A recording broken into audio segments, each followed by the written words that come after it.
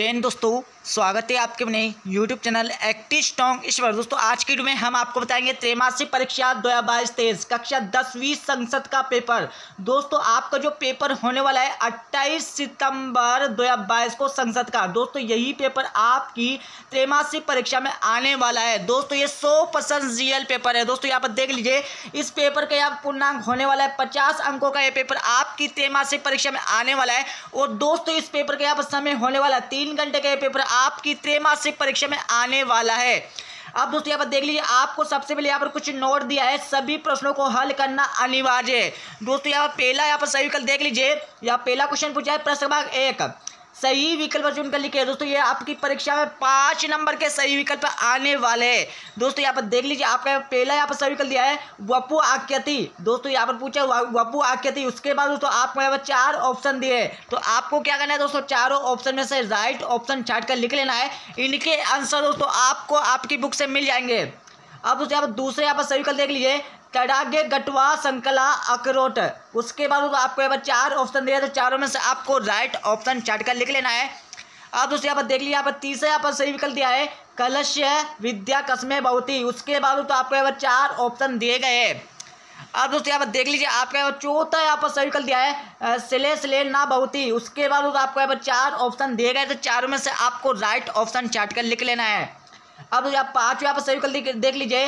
वस्त्र पुत्र विव्यते दोस्तों, यहाँ पर पूछा है वस्त्र पुत्र पुतम पीबते। उसके बाद आपको यहाँ पर चार ऑप्शन है। चारों में से आपको राइट ऑप्शन चाट कर लिख लेना है। अब दोस्तों, यहाँ पर देख लीजिए, आपका यहाँ पर अगला क्वेश्चन आने वाला खा वाला। निम्न शब्दों का संधि विग्रह कर संधि का नाम लिखे। दोस्तों ये आपकी परीक्षा में चार नंबर के आने वाले इसमें क्या करना तो आपको यहाँ पर संधि का यहाँ पर विग्रह कर संधि का नाम लिखना है ठीक है? यहाँ पर कर, क्या करना दोस्तों संधि का विग्रह कर संधि विच्छेद कर दोस्तों आपको संधि का नाम लिखना है ठीक है? अब आप देख लीजिए आप दूसरा क्वेश्चन आने वाला है। निम्न धातु के निर्देश अनुसार तीनों वचनों में धातु रूप लिखे है। दोस्तों आपको यहाँ पर आ बा सा दिए ये आपकी परीक्षा में तीन नंबर का आने वाले है। इसमें क्या करना दोस्तों आपको धातु का नाम लिखना है ठीक है? धातु वचन वचन दोस्तों दोस्तों, आपको धातु का नाम लिखना है, ठीक है? अब तो पर देख लीजिए, आपके यहाँ पर तीसरे यहाँ पर प्रश्न दिया है, निम्न शब्दों का धातु प्रत्यय अलग कीजिए। दोस्तों, आपको धातु का और और दोस्तों, यहाँ पर प्रत्यय को अलग करना है, ठीक है? धातु और प्रत्यय को अलग करना है, जिससे, दोस्तों, आपके यहाँ चार नंबर यहाँ से कंप्लीट हो जाएगा।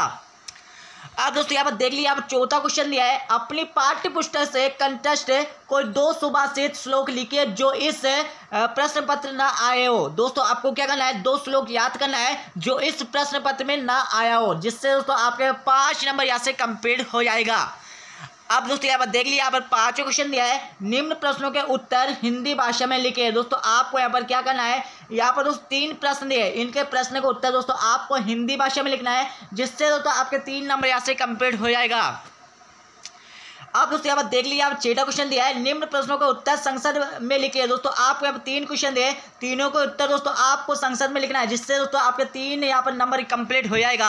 अब आप देख लीजिए, आप सातों क्वेश्चन दिया है। सातों क्वेश्चन में आपको क्या करना है? निम्न गद्यांशों का हिंदी अनुवाद कीजिए। दोस्तों, आपको एक और दो गद्यांश दिए इन गद्यांशों के दोस्तों, आपको हिंदी अनुवाद करना है, जिससे दोस्तों आपके तीन तीन नंबर यहाँ से कंप्लीट हो जाएँगे। मतलब छः नंबर यहाँ से कंप्लीट हो जाएगा। आप दोस्तों यहाँ पर देख लीजिए, आपका आठो क्वेश्चन दिया है। आठो क्वेश्चन में आपको क्या करना है? निम्न श्लोकों का हिंदी अनुवाद कीजिए। दोस्तों, आपको यहाँ पर एक, दो श्लोक दिया है। एक श्लोक आपकी परीक्षा में तीन नंबर का आने वाला है और दूसरा श्लोक आपकी परीक्षा में तीन नंबर का आना है। टोटल मिलाकर यहाँ पर छः नंबर यहाँ से कंप्लीट हो जाएगा।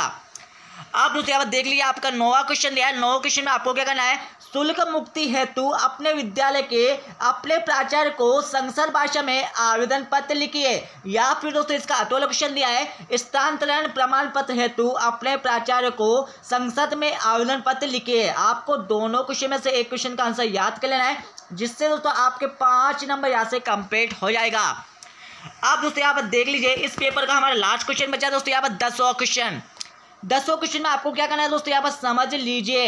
निम्न में से किसी एक विषय पर संसद में निबंध लिखिए। दोस्तों, आपको यहाँ पर चार विषय दिया तो चारों विषयों में से आपको किसी एक विषय पर यहाँ पर निबंध लिखना है, जिससे दोस्तों आपके यहाँ छः नंबर यहाँ से कंप्लीट हो जाएगा।